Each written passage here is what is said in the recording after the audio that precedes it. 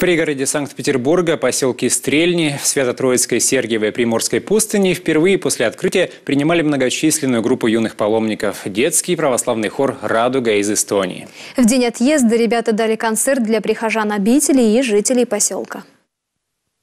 Неожиданно нагрянувшая среди весны зима в Санкт-Петербурге была единственной холодной ноткой, которой встречала северная столица, ребята из детского хора Эстонии. Во всем остальном этот прием был по-настоящему теплым. Особенно горячо их встречали здесь, в Троице-Сергиевой пустыне, где ребята нашли не только кровать и стол, но и добрых друзей.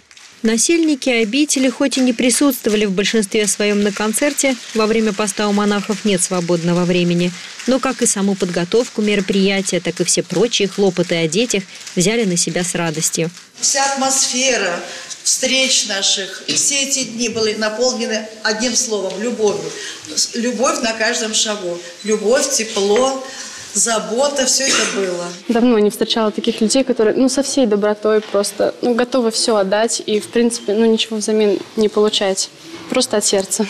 За пять дней концертного тура, совмещенного с паломничеством, ребята выступили на многих площадках. Пели в Константиновском дворце, в Большом дворце Петергофа, в храмах, в Морском соборе Кронштадта. Им везде были рады. «Радуга» – один из лучших хоров Эстонии. В их репертуаре песни на русском, эстонском, старославянском, греческом, грузинском и даже итальянском.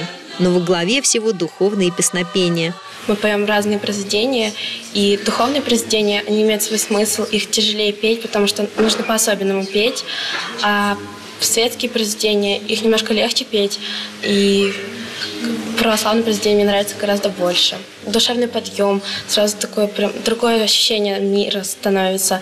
И вот благодаря хору э, я стала ходить в храм тоже, что ну, с Богом начала сливаться.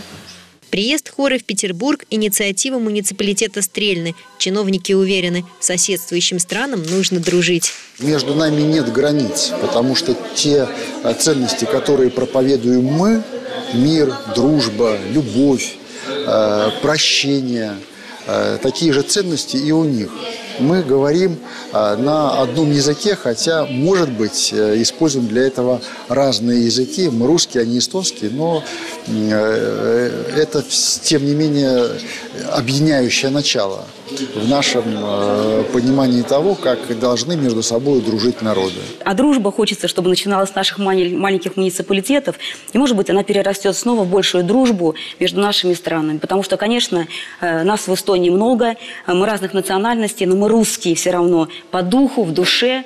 Вот, нас много православных.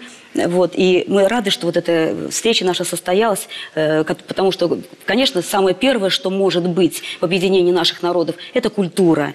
Культура, которая очень высокая, духовная между нашими странами. Пусть она продолжается, развивается и на созидание наших вот отношений между нашими странами.